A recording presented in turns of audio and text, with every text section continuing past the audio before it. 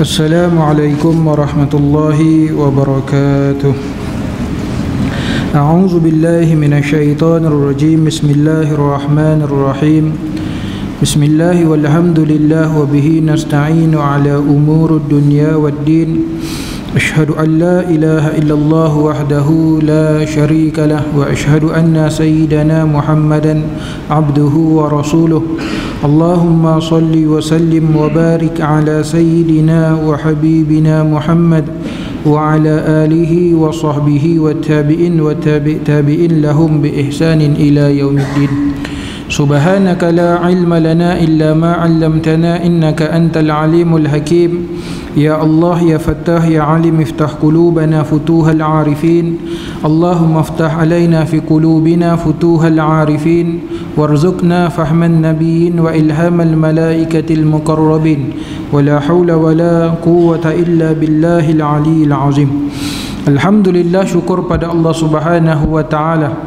Sama-sama pada malam ini masih lagi diberikan kita kesempatan dengan sedikit ruang dan waktu dengan baki umur yang ada sama-sama dapat lagi kita berhimpun duduk dalam satu majlis yang mudah-mudahan dirahmati dan diberkati oleh Allah Subhanahu wa taala. Satu majlis yang disebut oleh junjungan besar Nabi besar Nabi Muhammad sallallahu alaihi wasallam raudah min riyadil jannah, taman di antara taman-taman syurga Allah Subhanahu wa taala. Tuan-tuan, puan-puan, ibu-ibu, ayah-ayah yang dirahmati Allah taala. Insya-Allah pada malam ni kita akan menyambung kembali pengajian kita. Yang ini yang pertama kita akan mendengar hadis daripada kitab 40 hadis kelebihan ilmu dan ulama. Kemudian kita akan sambung bagi kitab fiqh daulah ataupun fiqh kenegaraan tata cara pemerintahan berdasarkan Islam. Maka kita dengar hadis yang ke-32 yakni yang pandai tolong yang pandai menolong. Yakni menuliskan bagi orang yang kurang pandai. An abi hurairah radhiyallahu taala anhu qala khataba rasulullah sallallahu alaihi wasallam fazakara qissatan fil hadis. Faqala abu shah uktubu li ya rasulullah. Faqala uktubu li abi shah. Akhrajahu tirmizi. Yakni daripada sayyidina abu hurairah radhiyallahu taala anhu telah berkhutbah. Yakni uh, telah berkhutbah Rasulullah sallallahu alaihi wasallam akan suatu khutbah lalu Abu Hurairah menyebutkan bahawa Rasulullah sallallahu alaihi wasallam menyebutkan di dalam khutbahnya itu satu kisah yang panjang. Dan pada akhir hadis itu disebutkan bahawa Abu Syah yakni seorang sahabat berkata bagi Rasulullah sallallahu alaihi wasallam wahai Rasulullah tolong tuliskan untukku isi khutbahmu tadi. Maka Rasulullah sallallahu alaihi wasallam bersabda tolong tuliskan untuk Abu Syah hadis riwayat Imam Tirmizi. Yang mana jelas daripada hadis ini satu perkara ataupun kaedah untuk menuntut ilmu dengan mencatat apa yang telah disampaikan. Dalam hadis ini menceritakan tentang satu ketika Rasulullah berkhutbah. Di dalam khutbah Rasulullah itu Rasulullah menceritakan satu kisah yang panjang. Maka ada sahabat yang digelar dengan Abu Syah meminta selepas daripada khutbah itu meminta supaya Rasulullah tuliskan kembali apa yang Rasulullah sudah sampaikan di dalam khutbah Rasulullah sallallahu alaihi wasallam itu. Jadi ha, maka Rasulullah menyuruh pula kepada sahabat-sahabat yang lain siapa yang mampu untuk menolong menuliskan apa yang telah Rasulullah sampaikan untuk Abu Syah Maka kita lihat di dalam hadis ini Malah mendengar khutbah pun digalakkan untuk kita catat Apa yang disampaikan di dalam khutbah. Lazim masyarakat kita bila mana khutbah disampaikan Kita duduk pakat tidur ramai-ramai tuan-tuan. Ha, Tak boleh salah jemaah juga.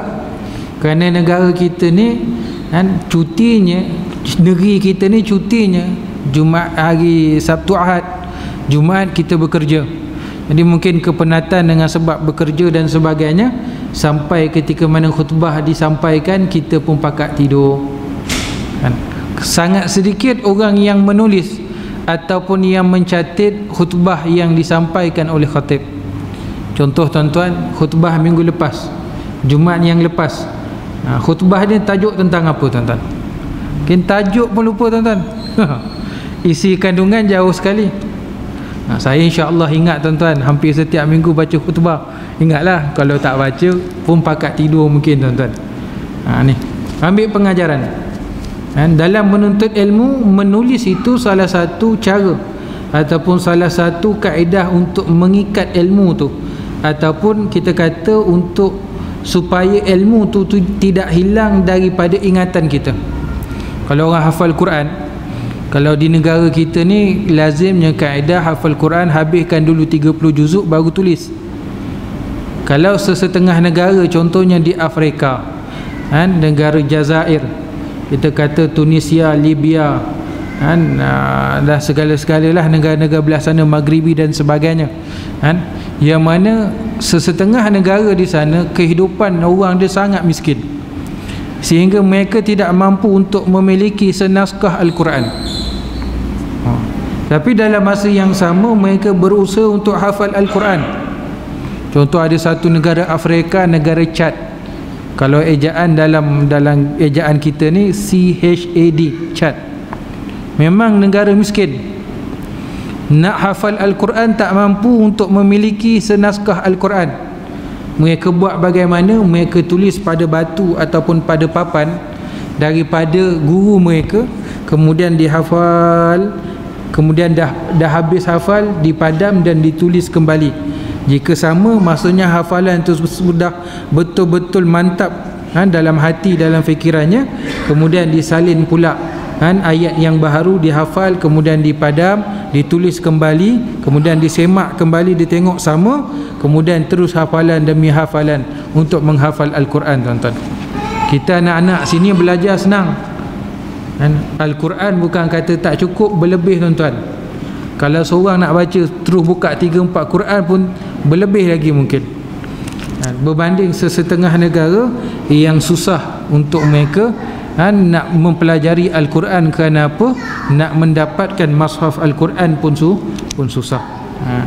jadi pada kita ni Allah Ta'ala beri kelebihan kemampuan kan ha, boleh membaca boleh menulis dan sebagainya maka kita gunakan kelebihan kita ini untuk mencatat ataupun menulis apa-apa yang disampaikan yang mungkin tidak manfaat pada kita tetapi manfaat untuk orang lain.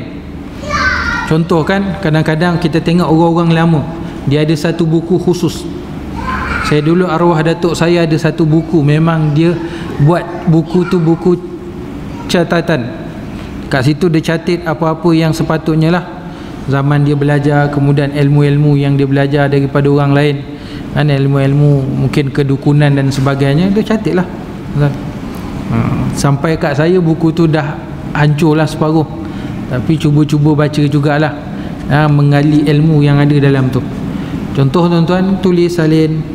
Kalaupun dia tak beramal dengan ilmu tu Sekurang-kurangnya nanti generasi akan datang. Kalau buku tu masih ada Maka generasi akan datang boleh ambil manfaat daripada Buku yang dicatatkan ilmu di dalamnya. Kalau tuan-tuan mengaji pondok Tuan-tuan kitab-kitab pondok Kalau orang betul mengaji pondok Kitab dia memang berconteng habis tuan-tuan Kalau kitab bersih je tuan-tuan nah, Itu mungkin mengaji universiti tuan-tuan Orang mengaji pondok memang penuh dengan catatan. Kan kalau contohlah, ha ni bukan kitab pondok tapi saya buat contohlah. Kan ruang-ruang tepi ni yang ada itulah ruang-ruang untuk dia tulis ataupun dalam bahasa pondok kita panggil dalam bahasa Arab disebut dobit. Tulis apa yang disyarahkan oleh guru. Ha tu mengaji pondok. Dia tulis satu cantiklah. Nanti habis dah mengaji kitab tu dia boleh jadikan itu sebagai syarah bagi kitab yang dia mengaji. Dah keluar syarah dia. Dia terus nanti cetak nanti adalah tulisan di tepi. Tu kadang-kadang kitab lama. Tuan-tuan tengok ada tulisan-tulisan di tepi tu. Kan di tepi-tepi tu ada ha, itu syarah bagi ilmu yang dia belajar daripada tuan-tuan guru mereka. Ha. Kemudian tuan-tuan kita sambung bagi kitab fiqh daulah fik kenegaraan tata cara pemerintahan berdasarkan Islam. Yang mana kita masih lagi membicarakan bab daulah yang menjaga golongan daif. Yakni ha, negara Islam ataupun pemerintahan Islam pemerintahan yang menjaga yang yang ambil prihatin kepada golongan orang-orang yang daif ataupun orang-orang yang susah miskin fakir dan sebagainya negara Islam ialah sebuah negara yang menjaga hak golongan orang yang daif yakni yang lemah bukannya untuk menjaga kepentingan mereka yang berkuasa. Ha, negara Islam negara yang menjaga hak golongan orang-orang daif. Daif ini kita boleh bahagikan kepada dua kategori. Yang pertama orang yang daif dari segi sudut harta benda yang kita panggil dengan golongan fukara golongan masakin. Yakni golongan orang-orang miskin dan golongan orang-orang fukara. Yang kedua boleh kita kategorikan golongan da'if ini golongan orang yang tidak punya kuasa. Dia kaya tetapi dia tidak punya kuasa untuk buat satu-satu perkara. Contoh tuan-tuan satu sistem yang dipanggil dengan sistem komunis. Bila kita sebut sistem komunis sistem komunis dalam sistem dia ya ini hak pada semua orang sama rata. Tak ada siapa yang boleh lebih hak dia daripada orang lain. Maksudnya tidak ada orang yang boleh lebih kaya daripada orang lain melainkan semua kena sama. Tu kalau tengok komunis zaman dulu tuan-tuan negara komunis contohnya Rusia China. Kan sekarang ni yang terkenal Korea Utara tuan-tuan. Kita tengok makan pakai kenderaan semua sama. Tak boleh lebih ha, itu sistem komunis. Ha, maka ada orang yang mampu tetapi dia tak boleh buat lebih daripada kemampuan dia. Maka itu pun disebut dengan orang yang da'if yakni orang yang ditindas. Dia tidaklah miskin. Dia mungkin ada kelebihan dari segi sudut harta. Dia ada kemampuan dari segi sudut uh, kemahiran dan sebagainya. Tetapi dia ditekan tidak diberi peluang untuk lebih ke hadapan. Maka ini juga termasuk dalam golongan orang yang da'if. Islam tidak bila sebut agama Islam Islam membela hak golongan-golongan yang saya sebutkan tadi. Golongan fakir miskin dibantu golongan orang yang mempunyai uh, kemahiran ataupun kita kata orang yang mempunyai uh, kelebihan pada satu-satu bidang diangkat kan? Untuk ditonjolkan kemahiran ataupun bidang yang dia yang dia miliki. Yang mana semuanya akan kembali kepada kepada Islam. Ha. Yang mana ia mewajibkan zakat dan mengambil daripada orang-orang kaya untuk diserahkan kepada golongan fakir ha. ya ini dalam Islam ada beberapa sistem ataupun kaedah cara dipanggil dengan zakat yang pertama yang ini bagi orang yang pendapatan dia lebih daripada yang telah ditetapkan oleh syarak maka telah ditetapkan hukum-hukum ataupun kadar-kadar tertentu yang perlu dia tunaikan ataupun dia bayar kembali ke Baitul Mal ataupun pusat zakat. Kan? Kalau contohnya zakat harta zakat pendapatan lebih daripada haul lebih daripada nisab dia maka dia kena bayar 2.5% itu contohlah.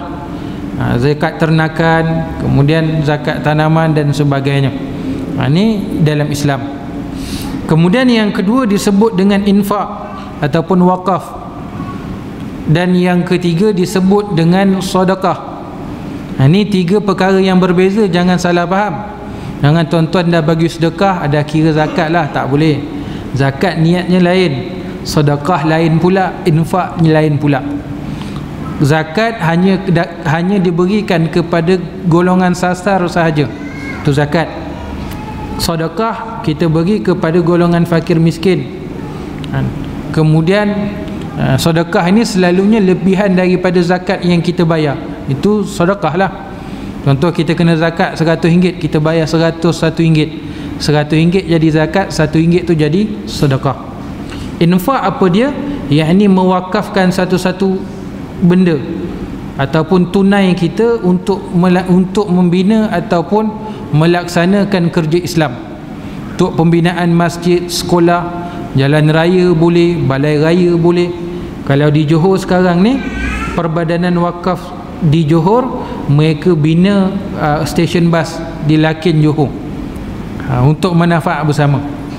Ha, saya fikir-fikir juga kalau buat naik bas free tak apa. Bayar lagi pun macam mana tu? ha.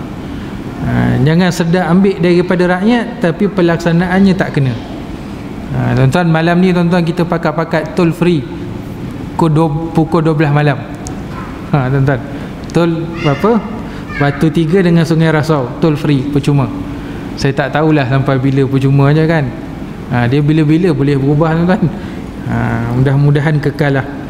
Puluhan tahun mungkin tuan-tuan yang bekerja ulang alik lalu tul kan puluhan tahun bayar.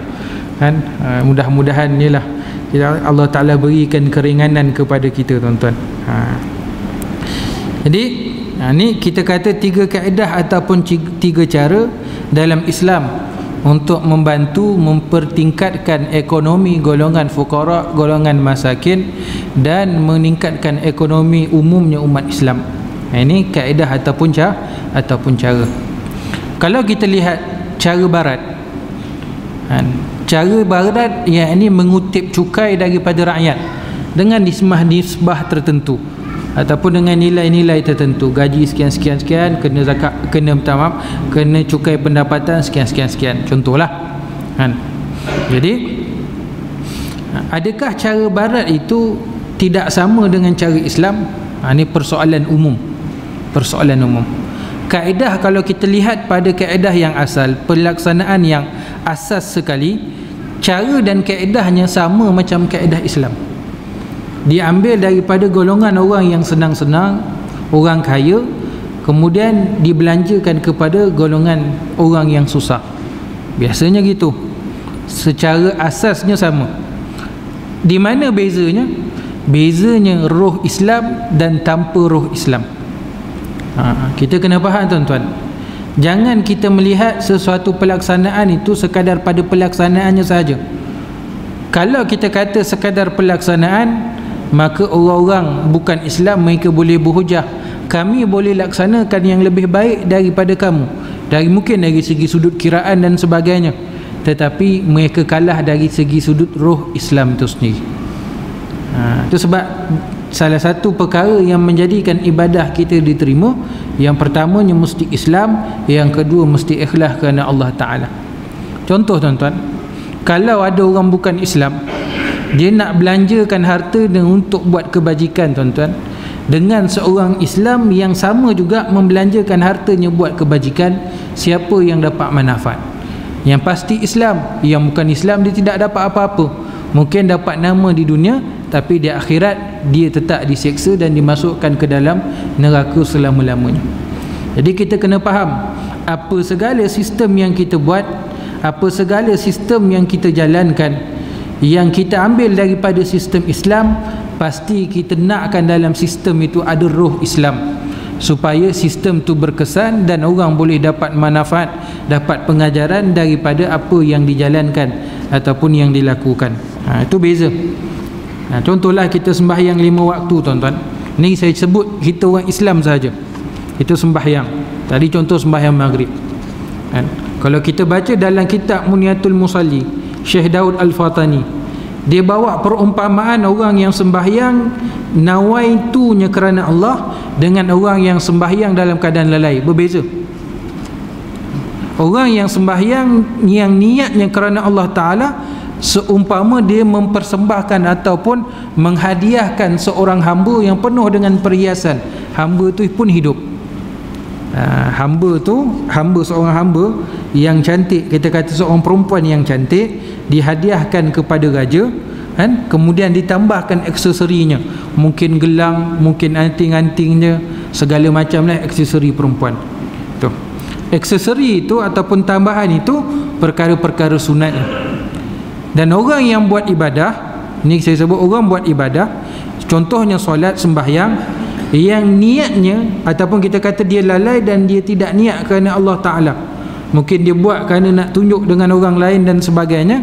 Maka Syekh Daud Fatani dalam kitab beliau Muniatul Musalli dia kata apa? Seolah-olah seseorang itu menghadiahkan seorang hamba ataupun perempuan yang cantik tetapi sudah mati. Ha, cantik? Kalau tengok memang cantik tapi dah tak bernyawa. Maka tak ada nilai ataupun tidak ada gunanya begitulah sistem Islam. Beza dengan sistem-sistem yang bukan daripada sistem Islam perbezaannya apa dia? Yakni bila sistem Islam itu sistem dia bukan sekadar dengan sistem tetapi di dalamnya ada roh Islam itu sendiri yang akan menghidupkan dan membangkitkan hati hati manusia. Sebab tuan-tuan contoh. Kan? Nabi SAW Nabi sebut apa? Kan? Uh, Allah Ta'ala menghidupkan hati yang mati seumpama menghidupkan bumi dengan air hujan. Ya ini Allah Ta'ala menghidupkan hati yang mati dengan ilmu. Kan? seumpama menghidupkan bumi dengan air hujan. Bumi kering kontang air hujan tu umpama ilmu yang tercurah jatuh ke bumi akhirnya tumbuh tumbuh tumbuh tumbuh ataupun tanaman. Samalah hati yang dikatakan ilmu yang menghidupkan hati ilmu yang dipelajari nawaitunya itu kerana Allah Ta'ala. Kalau contoh tuan-tuan duduk ilmu macam ni memang memang tuan-tuan mengaji ilmu agama. Tapi niat lain tuan-tuan. Niat belajar nak pandai nak memandai-mandai depan orang. Ha, itu tak boleh. Ha, saya kena ingatkan tuan-tuan termasuk diri saya. Kita menuntut ilmu bukan niat nak pandai. Itu bukan keutamaan nak menuntut ilmu bukan niat untuk jadi ulama. Itu bukan keutamaan. Tetapi kita menuntut ilmu untuk apa? Untuk dapat redha Allah Ta'ala perkara yang lebih jauh lagi ataupun perkara yang lebih besar untuk kita. Nescaya orang yang Allah Ta'ala redha mudah-mudahan Allah Ta'ala bukakan pintu hati dia lebih alim. Orang yang Allah Ta'ala redha mudah-mudahan Allah Ta'ala bukakan pintu hati dia jadi golongan alim ulama' ada orang yang dia nakkan yang dia ni jadi pandai memang pandai. Tetapi kadang-kadang buat tindakan yang bertentangan dengan syarak. Orang suruh sokong Islam dia tolak Islam. Nak kata tak pandai pandai ngaji tinggi. Ataupun kadang-kadang dia nak jadi ulama memang dipanggil digelar dengan ulama. Tetapi bukan ulama yang mendukung Islam tetapi ulama yang bantu cari dalil untuk merendahkan Islam tuan-tuan itu sebab tuan-tuan lihat mutaakhir ini tuan-tuan. Saya cakap umum lah. Ha, tuan-tuan kena faham-faham sendirilah umum. Ha, bencana yang berlaku akhir zaman ini antaranya bencana media sosial. WhatsApp, Facebook dan sebagainya. Ha, saya jarang, saya suka tengok aja. Saya tak suka nak kongsi, nak tulis-tulis apa tak adalah. Ha, kita takut yang kita kongsi itu nawai itu kita baik tapi persepsi orang kepada kita tak baik. Contoh kenapa saya kata bencana? Golongan kebanyakan asatizah Ustaz-ustaz ini Mereka tidak berhati-hati dalam menggunakan media sosial. Boleh jadi seseorang itu buat kesilapan. Kenapa tak ditegur dengan secara personal? Ataupun kita kata PM Private message. Tetapi dibuat satu tulisan yang panjang dipostkan Hentam orang dan sebagainya maka tidak ada adab akhlak Islam tuan-tuan. Tindakan nampak betul. Kerana apa? Kita menulis untuk memperbetulkan kesalahan orang. Tetapi caranya salah. Kerana apa? Membongkar keaiban orang secara meleluasa. Kadang-kadang mungkin orang tu betul silap. Dan dia bukan sengaja buat silap. Dan nawai itu orang yang buat silap itu beliau bersungguh-sungguh untuk fikir cara nak selamatkan Islam cuma mungkin ada beberapa dalil yang diambil tak bersesuaian dengan kita kata dengan uh, tajuk yang dibicarakan. Maka tegurlah secara baik. Kenapa secara terbuka seolah-olah nak merendahkan keilmuan seseorang tuan-tuan? Ni tak ada adab. Ni golongan yang tidak ada adab dalam menyampaikan ilmu. Ini kita kena jauhkan daripada golongan begini dan berhati-hati. Nak kata alim alim bukan orang bodoh. Mungkin kita boleh kata ulama. Tetapi bila mana hilang adabnya maka tidak ada nilai. Kan pada sisi Allah Taala dan pada kita ni kan inilah golongan yang tidak boleh kita ambil manfaat daripada daripada mereka. Ha. sebab tuan-tuan guru pondok tuan-tuan tengok kan? Tuan-tuan guru mana nak whatsapp whatsapp tuan-tuan? Mana nak main facebook facebook tuan-tuan? Alim kan tuan-tuan guru yang terkenal seantero dunia. Kan ha, jadi panutan umat Islam seluruh dunia. Kan tak ada nak sibuk-sibuk nak whatsapp sibuk-sibuk nak cerita hal orang dan sebagainya. Sibuk masing-masing cerita fikir tentang Islam bukan fikir kelemahan-kelemahan kan sesetengah individu dalam umat Islam. Rugilah. Ha, kita nak nampak kelemahan Islam secara umumnya kita nak perbaiki bukan nak melihat kelemahan individu yang kita buang masa dengan individu individu-individu tertentu ni tuan-tuan. Ha, jangan kita ambil peduli. Ha, ni langau-langau ataupun lalat-lalat yang ada di sekeliling kita yang mengganggu untuk kita berjalan ataupun bergerak dengan lebih lebih ke hadapan. Ha, sekian maklum. Ha, tuan-tuan ha. kadang-kadang tuan-tuan tu sebab saya sebut tuan-tuan Kadang-kadang duduk dalam soft perjuangan tak nak. Dah rasa pandai. Kadang-kadang bila orang silap Saya tak kata kita ni semua betul. Kan? Kalau kita pun duduk dalam soft perjuangan Kita tak kata kita 100% betul. Yang paling betul, yang paling tepat Nabi SAW Para sahabat pun mereka kadang-kadang ada khilaf Berselisih pendapat dan sebagainya. Tapi kenapa tak diselesaikan dengan cara yang baik? Oh, dihentam perjuangan Islam ha, katanya tak syar'i tak betul dan sebagainya. Tapi yang duduk sama-sama dengan bukan Islam untuk lawan Islam tu bagaimana? Kenapa tak ditegur? Ha, kenapa tak di apa uh, kenapa tak cakna dengan perkara-perkara yang berlaku? Sibuk bila umat Islam nak pertahankan Islam yang itu direndah-rendahkan dan sebagainya contoh baru-baru ni kita maklum Presiden Amerika mengumumkan Baitul Maqdis ha, Jerusalem itu jadi ibu negara Israel. Tuan-tuan. Ramai umat Islam seluruh dunia ni majoriti umat Islam semua marah dengan tindakan Amerika tuan-tuan. Tapi tuan-tuan jangan lupa ada satu golongan tuan-tuan. Saya jelas tuan-tuan saya sebut banyak kali saya sebut. Golongan wahabi tuan-tuan. Golongan wahabi ni golongan jahat tuan-tuan.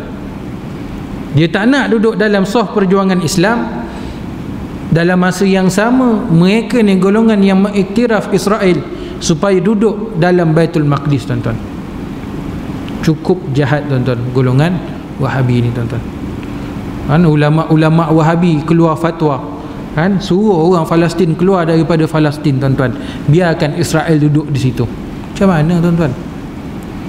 Kata mengaji hadis kata pegang dengan sunnah Nabi Nabi jelas Nabi sebut la hijrah ba'dal fatah ilal jihad. Tak ada lagi hijrah selepas pembukaan kota Mekah melainkan jihad. Maksudnya orang Palestin walaupun ditekan dia tak perlu lagi untuk keluar berhijrah melainkan dia kena jihad pertahankan negara dia. Tapi ada setengah golongan wahabi ni tuan-tuan kan mereka sanggup mengatakan keluar kenyataan umat Islam kena keluar daripada Palestin. Biarkan Israel di Palestin dah lah kena jajah. Lepas tu ada pula yang mengajar suruh keluar lagi daripada situ beri muka kepada golongan Israel tuan-tuan. Ha, ni kena hati-hati tuan-tuan. Kan ni golongan yang dia bukan nak bela Islam tapi nak menghancurkan Islam daripada daripada dalam. Persidangan tergempak OIC tuan-tuan. Antara negara yang tidak hadir tuan-tuan. Kan lebih kurang tak silap saya 23 ke 28 negara yang tidak hadir. Kan Ha, menunjukkan sokongan dalam dalam isu Palestin tuan-tuan. Antara yang tidak hadir negara Saudi tuan-tuan. Jauh ke Saudi? Kita Malaysia lagi jauh tuan-tuan. Dekat je Saudi tu dengan Turki. Kenapa tak datang?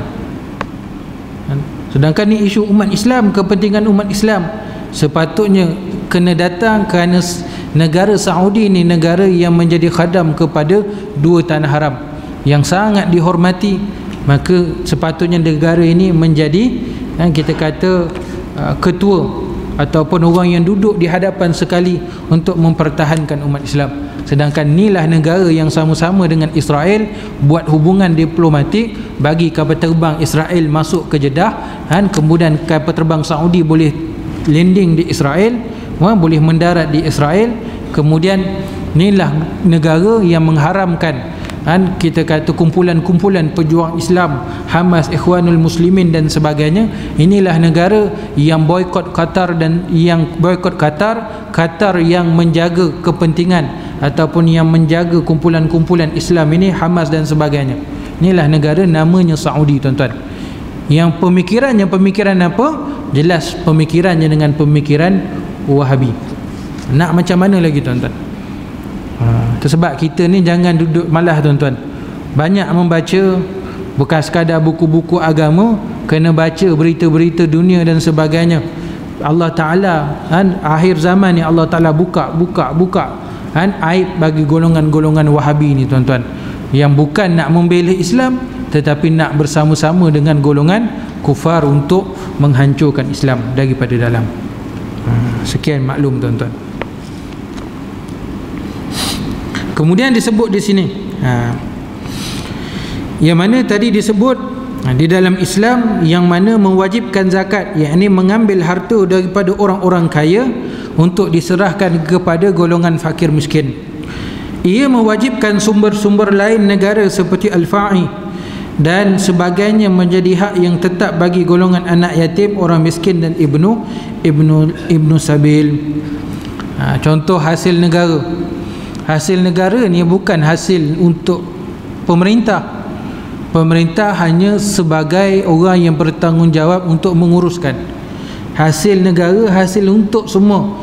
Lebih-lebih lagi diberikan kepada golongan yang memerlukan contoh tuan-tuan minyak emas biji timah besi balak dan sebagainya kan? bukan digunakan untuk pemerintah untuk kekayaan pemerintah tetapi digunakan untuk membantu ekonomi rakyat kita ambil contoh negara paling dekat dengan kita negara Brunei Darussalam kan? negara Brunei Darussalam kan?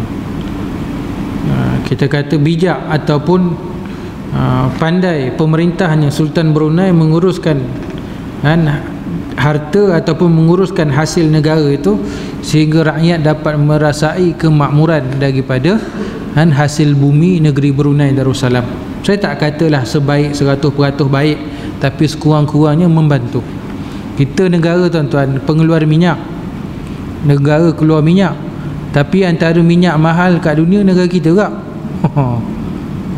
Eh, dia pergi bandingkan dengan negara yang tak ada minyak. Janganlah banding gitu. Banding dengan negara lain yang ada minyak minyak di Brunei lebih murah daripada kita. Dia banding dengan Thailand. Thailand tak ada minyak. Ada minyak kita pun bagi Thailand lagi. Tak tak cerdik tuan-tuan. Kan contoh di Kelantan. Kan? Ada. Dalam perairan negeri Kelantan perairan Malaysia lah ada telaga minyak yang baru dijumpai. Tapi buat perjanjian bagi dengan Thailand tak nak salur minyak lalu Kelantan. Macam mana tuan-tuan? Ha, sekian maklum lah tuan-tuan tahulah. Ha, tu. Kita mampu.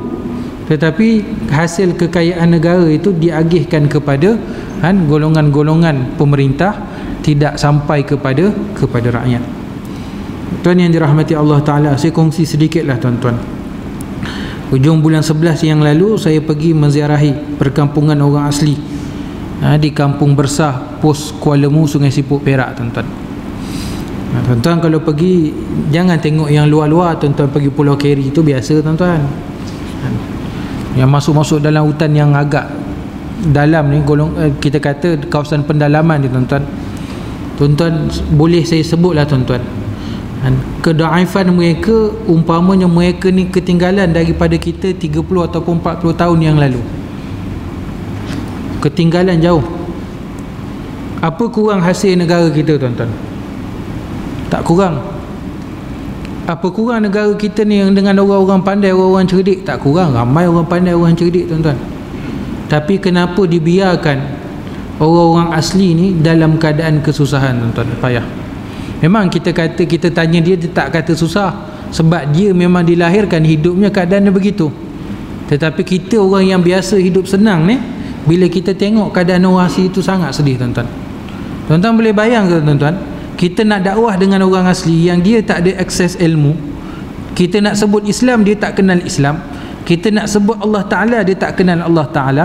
Kita nak sebut Nabi Muhammad dia tak kenal Nabi Muhammad. Macam mana kita nak cerita tuan-tuan? sedih tak sedih tuan-tuan ada lagi dalam negara kita tempat-tempat yang orang tak kenal Islam yang dah sekolah tu kita faham lah kan ini orang asli yang tua-tua yang dia pun tak boleh nak cakap bahasa Melayu yang kita cakap dengan dia bahasa Melayu pun tak faham. Ada tuan-tuan? Ini pengalaman tuan-tuan. Sedih tuan-tuan. 60 tahun negara merdeka kalau kata semenanjung ni lebih kurang 20% sahaja yang masuk Islam. Yang lain belum Islam. Tanggungjawab siapa tuan-tuan? Kalau merdeka 60 tahun setiap tahun kita target 1% je masuk Islam tuan-tuan. Sekurang-kurang 60% hampir lebih daripada separuh dah masuk Islam. Tapi kita lihat sesetengah pihak tak mengambil cakna peduli. Ni kita kata orang-orang yang punya kuasa pemerintah tak ambil peduli dibiarkan orang asli dalam keadaan kesusahan dalam keadaan tidak ada ilmu dalam keadaan kejahilan dan sebagainya. Kerana apa? Nak mempergunakan orang-orang asli ni tuan-tuan. Sedih kita tengok sangat-sangat sedih tuan-tuan. Kita kalau dakwah luar ni buat street dakwah jumpa Cina jumpa India cerita Islam tak payah cerita panjang lah tuan-tuan. Silap-silap kita balik yang kena bayan dengan dia tuan-tuan. Ha, you tak payah cerita panjang lah. Wah sudah baca Islam sekian sekian sekian sekian. Rukun iman ada enam Rukun Islam ada lima. Wah dia boleh sebut. Sebab apa akses maklumat mudah? Dia boleh dapat maklumat Lebih-lebih lagi zaman sekarang Dengan internet dan sebagainya Tapi kita lihat dalam negara kita ni tuan-tuan Ada juga masyarakat Yang dia tak ada akses ilmu Dan dia tak tahu apa itu Islam. Ha, Tuan-tuan jangan Tuan-tuan jangan Rasa pelik lah tuan-tuan. Itulah yang berlaku dalam negara kita.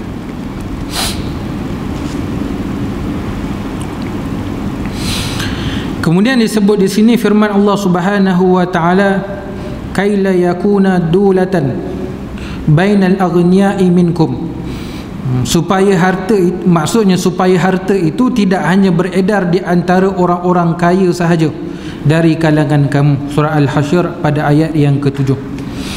Khalifah yang pertama berkata dalam ucapan dasarnya yang pertama ketahuilah sesungguhnya golongan yang kuat dari kalangan kamu adalah lemah dari lemah di sisi aku sehingga aku dapat mengambil hak daripadanya dan golongan yang lemah di kalangan kamu adalah kuat di sisiku sehingga aku dapat mengambil hak untuknya. Khalifah pertama Sayyidina Abu Bakar As-Siddiq pada ucapan dasarnya yang pertama ketika beliau dilantik menjadi khalifah pengganti Rasulullah sallallahu alaihi wasallam. Dia kata apa? Golongan yang kuat golongan orang-orang kaya golongan orang-orang yang mempunyai pengaruh dan sebagainya. Tetapi di sisinya dia kira orang ni orang-orang yang lemah. Tetapi orang yang lemah golongan fakir miskin kan yang mana dia mengatakan orang-orang golongan begini orang-orang ini yang kuat pada sisi dia. Maksud dia apa? Dia tidak mengambil peduli sangat kepada orang-orang yang kaya. Dia lebih mengutamakan menjaga kebajikan golongan orang-orang yang mis orang yang miskin? Jadi menjadi pemimpin ini sepatutnya melayani golongan fakir miskin. Ha, senang ceritalah tuan-tuan. Kan? Ha, kena ubah. Kalau boleh kena ubah sistem ni. Ha, kalaulah andai katalah Allahumma amin. Kan? Kurang-kurang dapat jadi MB Selangor ke tuan-tuan kan? Ataupun jadi Perdana Menteri Malaysia. Mana-manalah tahu Allahumma amin kan? Makbul doa satu hari nanti ubah sistem. Memang kita nak sistem Islam tu dah pasti. Yang kedua bila buat majlis-majlis kerakyatan kadang-kadang ia meraihkan anak yatim meraihkan ibu tunggal meraihkan orang miskin tetapi masih wujud meja-meja VIP ni bukan cara Islam tuan-tuan. Nabi tak ajar kita buat gini Malah Nabi duduk makan bersama dengan orang-orang fukara Orang fakir miskin tuan-tuan. Malu tuan-tuan Sedangkan yang meja-meja VIP Bukan hasil daripada duit VIP Tapi masih hasil daripada duit sumbangan orang ramai Tapi diberikan kesemewahan kepada VIP Sedangkan golongan fakir miskin Makan beratur ambil nasi kadang-kadang tak cukup kursi duk mencangkung tepi longkang makan lagi tuan-tuan. Mana adab Islam akhlak Islam tuan-tuan? Itu sebab kalau kita baca sejarah Nabi SAW Nabi takkan simpan harta ataupun makanan dalam rumah Nabi lebih daripada tiga hari Nabi tak senang duduk Nabi diberikan pilihan untuk kaya tetapi Nabi tak memilih kekayaan Nabi memilih hidup sederhana supaya Nabi dapat merasai kesusahan kepayahan orang yang hidup dalam keadaan sederhana dan susah. Nabi nak merasai jerit perih rakyat yang duduk di bawah pemerintahan Nabi wasallam. Ini baru betul. Itu sebab tuan-tuan jangan peliklah kalau kita lihat pemimpin-pemimpin sangat kekok untuk berbicara dengan kepayahan kesusahan yang dialami oleh rakyat bawahan. Kerana dia tak rasa susah. Lahir-lahir mak bapak pun dah senang kaya. Dapat pendidikan yang istimewa. Dapat pendidikan yang yang sempurna. Kemudian dia mendapat jawatan yang hebat-hebat tak pernah merasai kesusahan maka nak cerita jerit perih kesusahan pun payah tentang rakyat bawahan. Ini realiti yang berlaku. Sedangkan Rasulullah sendiri meletakkan diri Rasulullah ini dalam kelompok rakyat bawahan supaya dapat merasai jerit perih kesusahan yang dialami oleh oleh rakyat. Itu sebab tuan-tuan saya kurang hormat ataupun kurang respect dengan pemimpin-pemimpin yang pakai kereta-kereta mewah pemimpin-pemimpin yang pakai kereta-kereta mewah. Saya kurang sikit. Kan? Pakailah yang biasa-biasa. Kenapa nak diambilkan modal rakyat ataupun cukai rakyat kan? Digunakan untuk kereta-kereta mewah dan sebagainya. Saya tahu maklum Islam kena tunjuk hebat sama macam barat tapi hebat Islam pada akhlak bukan pada kebendaan dia. Ha, itu kena faham almarhum Tuanku Ni Abdul Aziz Nikmat dia selalu kata kalau kata nak buat bangunan komunis pun buat bangunan. Nak buat kekayaan kan agenda kita kata kumpulan-kumpulan bukan Islam pun buat. Tapi Islam ni nak tunjulkan pada pada akhlak. Kita berhenti seketika untuk laluan azan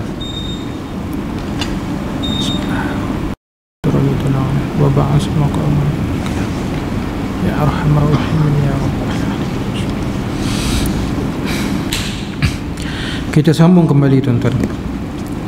Ha, yang mana kita lihat daripada ucapan yang diucapkan oleh Khalifah Sayyidina Abu Bakar As-Siddiq yang mana beliau sangat menjaga hak golongan orang-orang yang lemah dan golongan orang-orang fakir miskin di zaman pemerintahan beliau. Itu sebab kita lihat salah satu cara pembangunan bagi sesebuah negara kan, yang diaturkan dalam sistem Islam tuan-tuan yang kita lihat sekarang ni pembangunan negara dengan pembangunan masyarakat tidak seimbang. Contohnya kan pemerintah lebih nak mengadakan kita kata nak membangunkan negara untuk memodernkan memajukan negara sedangkan rakyat tak mampu untuk mengejar kemodenan ataupun kemajuan bagi sesebuah negara tu. Kadang-kadang punya kereta api laju tapi rakyat tak mampu naik kereta api laju yang mampu hanya golongan orang-orang atasan sahaja. Punya lapangan kapal terbang yang besar kapal terbang beribu-ribu kapal terbang setahun mendarat di situ. Rakyat sekadar mampu lihat tengok tapi rakyat tak mampu untuk naik kapal terbang. Kerana apa? kerana kegagalan sebahagian pemerintah untuk menyeimbangkan antara pembangunan negara dengan pembangunan ekonomi rakyat itu sendiri. Itu kena ambil peduli tuan-tuan saya ambil contoh negara kita sebenarnya sedang berlaku. Pemodenan semakin pesat tetapi rakyat tak mampu untuk kejar pemodenan tuan-tuan. Kaedah bagaimana kita nak kejar pemodenan ini? Rakyat mampu untuk kejar ataupun ambil manfaat daripada pemodenan? Yang pertama sekali paling mudah iaitu naikkan taraf pendidikan bagi sesebuah negara. Kalau taraf pendidikan masih dari kita kata taraf sampah maka rakyat dalam keadaan kurang kemahiran rakyat kurang berpendidikan bagaimana rakyat nak kejar kemodenan ataupun kemajuan yang ha, kita kata sedang berlaku. Tak mampu.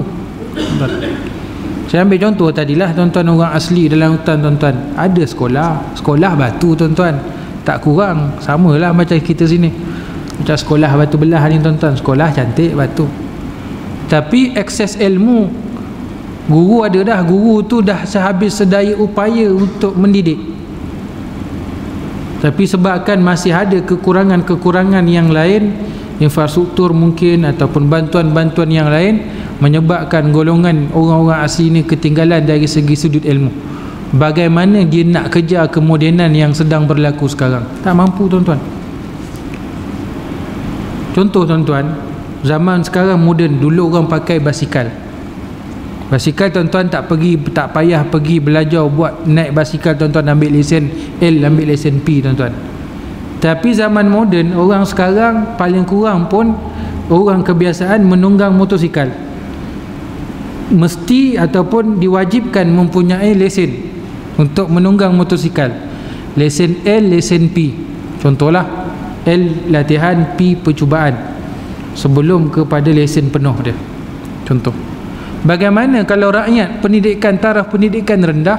Macam mana dia nak jawab soalan-soalan dalam dalam apa ni pembelajaran undang-undang yang telah ditetapkan oleh pihak pihak penguasa penguat kuasa? Tak mampu tuan-tuan. Ha, itulah buatlah lebih kurang lebih kurang. Janji lulus ada lesen memandu tanpa ada ilmu tanpa ada pengetahuan yang yang sepatutnya jadi memandu pun tidak cekap akhirnya boleh berlaku kemalangan dan sebagainya.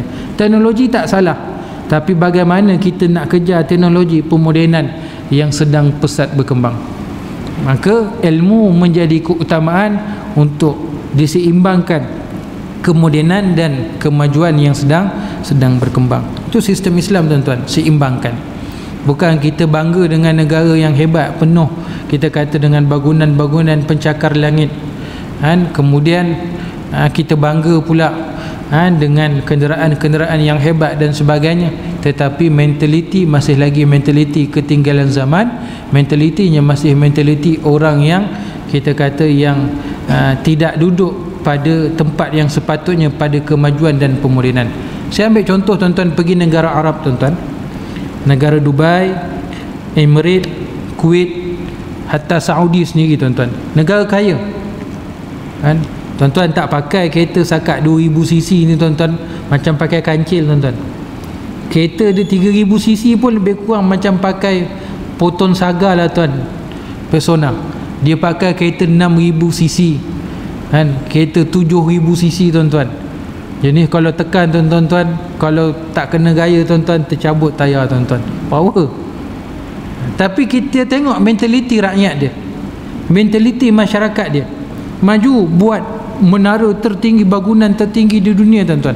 Tapi mentaliti masih lagi mentaliti lebih kurang macam kita tuan-tuan. Bukan sekadar lebih kurang macam kita. Kadang-kadang lebih teruk lagi pada kita. Kadang-kadang kencing pun jumpa dinding mana-mana dinding habis dia kencing tuan-tuan. Apa kurang tuan-tuan? Moden moden tapi kemodenan tidak seimbang dengan ilmu. Tuan-tuan tengok negara Arab tuan-tuan ha, negara-negara Arab ni dia maju. Hasil minyak dan sebagainya. Kebanyakan dikuasai oleh pakar-pakar daripada orang-orang negara daripada bukan Islam. Kalau contoh di Saudi dia ada Arabco Arabco ni bos-bos atas ni orang Amerika tuan-tuan.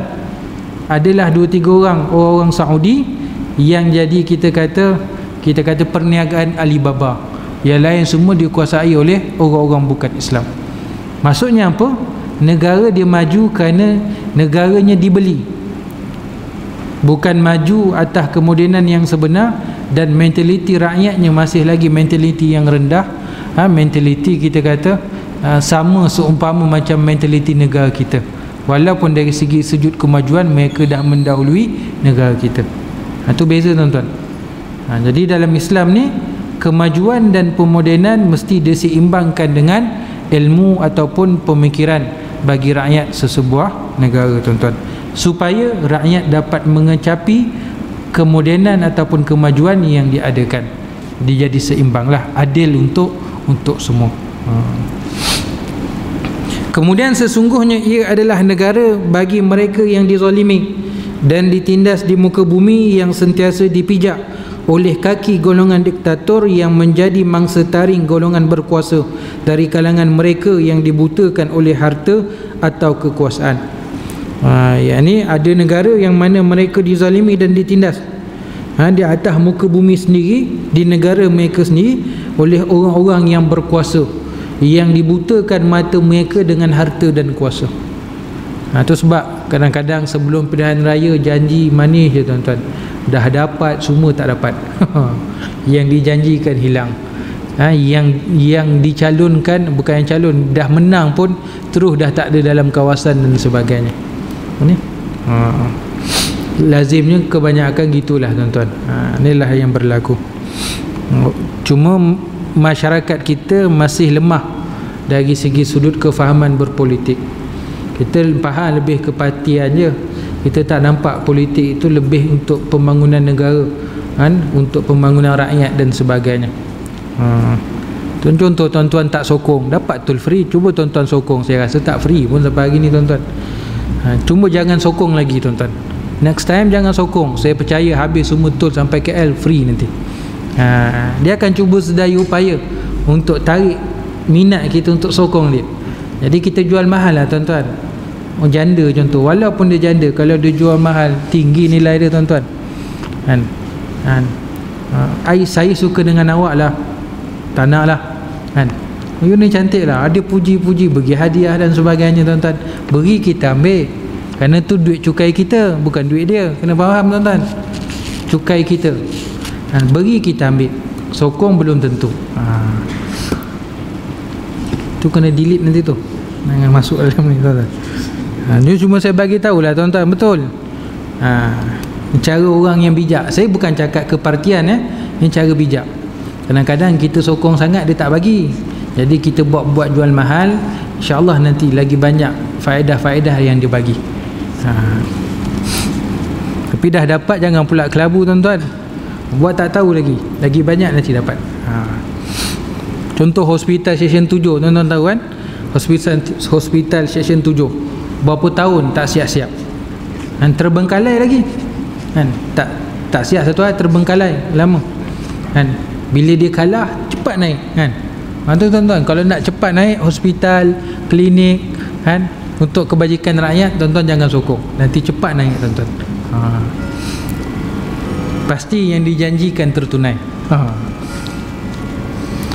Kemudian negara ini berdiri di dalam barisan mereka hingga uh, ke tahap ia memperjuangkan usaha membebas dan menyelamatkan mereka daripada tagut maka negara Islam ini negara ha, yang mana ha, membantu ataupun negara yang bersama dengan golongan golongan orang-orang daif ini untuk memperjuangkan dan membebaskan mereka daripada golongan golongan tagut yakni golongan-golongan yang menindas dan menzalimi golongan orang-orang yang da daif Wallahu ta'ala la mudah-mudahan apa yang disampaikan pada malam ni sedikit sebanyak menjadi pencerahan kepada kita maklumat kepada kita kan untuk memilih mana yang bertepatan dengan syarak ataupun kan, kita kata mengetahui apa juga yang bukan bertepatan daripada hukum hukum Islam itu supaya mudah untuk kita tolak dan sebagainya. Wallahu taala dan tuan-tuan yang dirahmati Allah Subhanahu wa taala saya ada dua perkara yang saya nak sebut. Yang pertama di tengah-tengah ni ada tabung pondok moden Darul Azizia siapa-siapa nak bagi sumbangan saya alu-alukan. Yang kedua tuan-tuan ha, saya mewakili tim 4x4 Batu Belah ha, untuk cari sedikit sumbangan. Ha, dan masjid ni pun saya dimaklumkan ada biro mualaf yang sama-sama dengan tim 4x4 Batu Belah untuk buat misi-misi dakwah ke perkampungan orang-orang asli di Semenanjung ni lah. Jadi tuan-tuan insyaAllah hujung bulan 1 ni dalam perancangan 26 hari bulan sehingga 28 hari bulan kami akan ke kampung Beswok Posiam Pos Kuala uh, Posiam uh, Sungai Siput Perak. Uh, memang jalan dia pun agak cantik tuan-tuan. Ni medium jalan jenis medium kita bagi tiga kan. Ada jenis yang uh, easy medium dengan hard. Ini medium lah.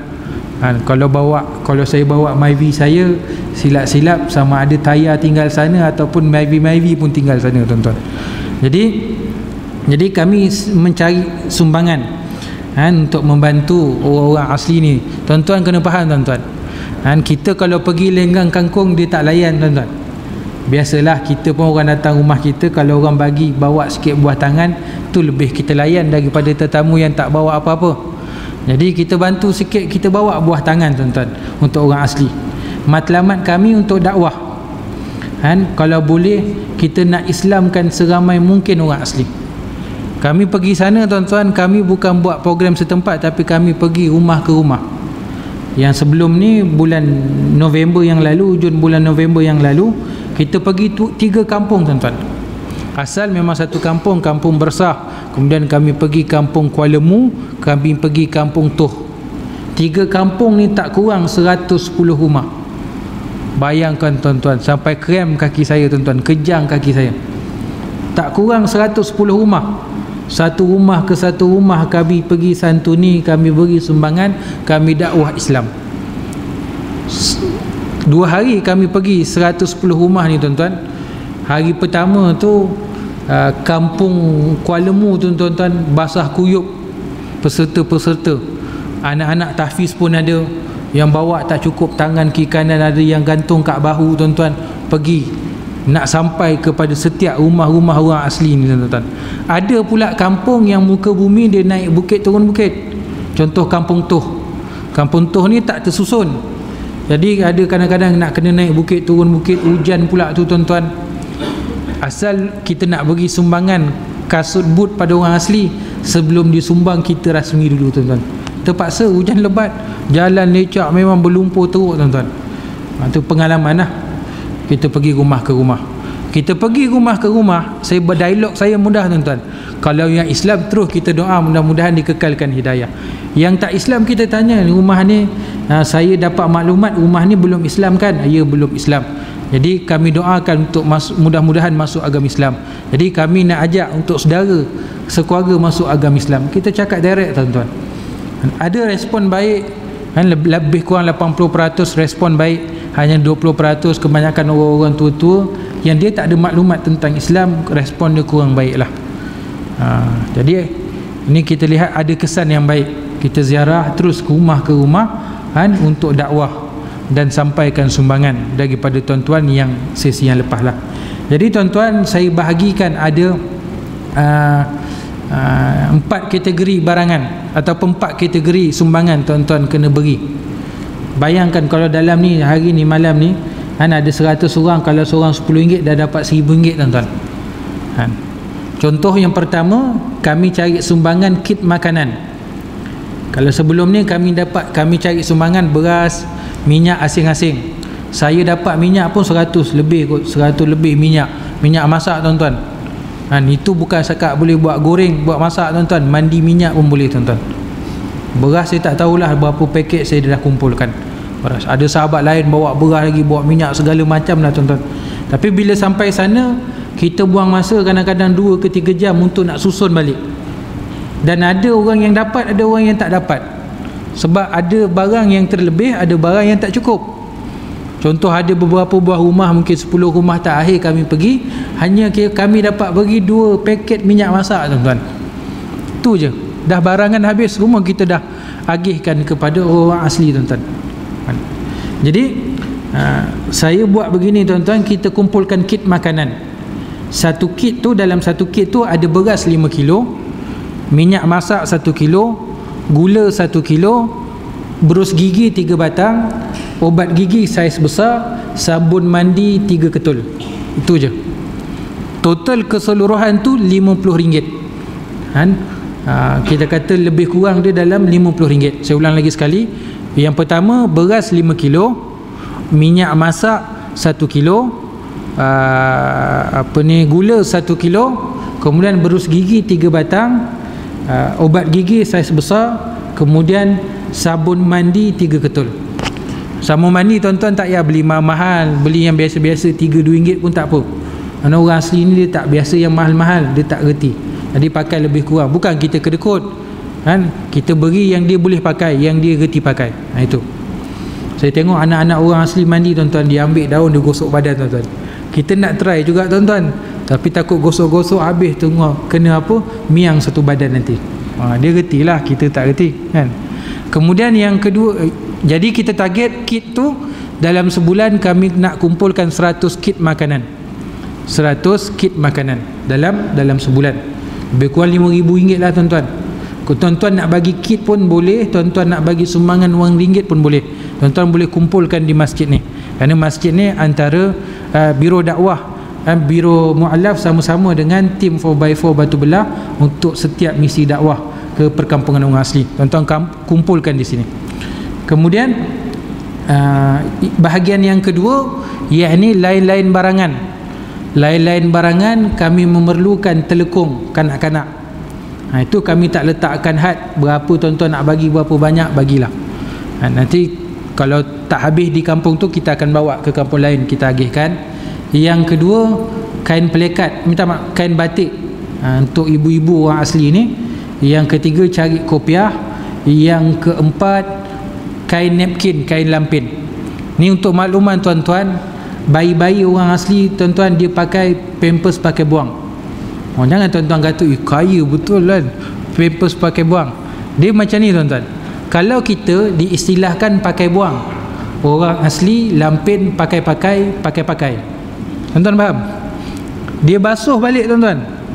Dia basuh balik. Dari segi sudut kesihatan tak elok najis tu masih lagi ada kan sisa najis tu dalam lampin. Saya ada nampak anak-anak orang asli yang terkena penyakit kulit tuan-tuan. Jadi kita buat kami buat kami fikirkan dan kami cadangkan nak ajar untuk pakai lampin uh, napkin tu. Ha, supaya kita ajar dia lipat dia pakaikan pada bayi dia dan dia basuh nanti dapat dibasuh dengan lebih bersih berbanding lampin pakai buang yang dibasuh berulang-ulang kali. Ha, kita pakai buang dia pakai-pakai pakai-pakai ha, tu tuan-tuan. Kemudian yang ketiga kami sedang kumpul dana untuk beli buah beli motosikal. Beli dua buah motosikal. Alhamdulillah satu dah dapat. Kami ada lagi satu motosikal sedang kami cari. Ha, ataupun tuan-tuan nak bagi motosikal boleh juga. Tapi jangan bagi yang tayar dan nak tercabut tuan-tuan. Kami tak nak. Jangan bagi canggih sangat pula. Macam RZ tuan-tuan. Ini kita nak guna untuk angkat barang juga. Tak nak canggih sangat kan? contoh kami nak cari motor EX5 ini ha, antara cadangan lah Honda. Harga dalam sekitar RM3,000 lah RM2,000 ke RM3,000. Jadi tuan-tuan nak bagi sumbangan boleh nanti tuan-tuan bagi sumbangan di masjid ni nanti insyaAllah. Kemudian yang keempat yang terakhir sumbangan untuk surau Jumaat surau KF kamp, surau kampung KF pos legap surau Nur Hidayah. Ha, surau tu memerlukan setiap minggu RM200 setiap minggu RM200 mungkin kalau boleh saya cadangkan masjid ni jadikan surau tu surau angkat bagus juga je. Kan? Ha. surau dia memerlukan RM200 seminggu untuk jamuan makan. Kenapa yang pertama nak galakkan orang asli untuk sembahyang Jumaat. Itu pertama. Yang kedua ada yang datang jauh-jauh. 20 km sembahyang Jumaat tuan-tuan. Ha, hukum memang kita tahu tak wajib Jumaat. Kerana dia bukan karya dia bukan kampung dia tapi kita nak galakkan. Biar dia rasa Islam tu bukan sekadar gitu je. Islam ni dengan ibadah dan sebagainya. Dia datang daripada jauh. Kadang-kadang dia keluar 10 pagi dia sampai kampung dia 4 petang tuan-tuan. Sembahyang Jumat je. Habis satu hari untuk sembahyang Jumat jadi untuk beri sedikit keselesaan lah tuan-tuan. Adakan jamuan makan beri makan kepada kan, ah, jemaah-jemaah ah, orang asli yang hadir untuk sembahyang Jumat tuan-tuan maklum tuan-tuan seminggu belanjanya lebih kurang RM200 tetapi yang makan lebih 100 orang. Tuan-tuan fikir apa dia makan tuan-tuan? Apa yang adalah sikit-sikit kan? Gunakan duit tu untuk sikit-sikit untuk lauk dan sebagainya makanlah ambil seorang sedikit kan? Untuk untuk kita kata meraihkan jemaah-jemaah yang hadir solat solat Jumaat tuan-tuan jadi tu ada empat kita kata empat kategori sumbangan yang tuan-tuan boleh agih tuan-tuan boleh berikan sedikit sumbangan. Apa-apa tuan-tuan boleh rujuk kepada pihak uh, masjid ni berkenaan dengan sumbangan-sumbangan ini kan tuan-tuan berilah. Sungguh-sungguh tuan-tuan. Kan andai kata kami keluar pergi sana tuan-tuan ada yang masuk Islam bukan sebab saya Islamkan bukan sebab kami Islamkan tapi kita semua yang Islamkan tuan-tuan saya mungkin bimbing tetapi kalau tak dengan sebab sumbangan daripada semua pihak daripada tuan-tuan maka usaha kami akan terhenti di pertengahan jalan. Maka dengan sebab usaha ataupun dengan sumbangan tuan-tuan mungkin tuan-tuan tak pergi tapi tuan-tuan tolong untuk kami sampai ke sana. Tolong untuk beri sumbangan untuk jinakkan hati-hati orang asli ni kepada Islam.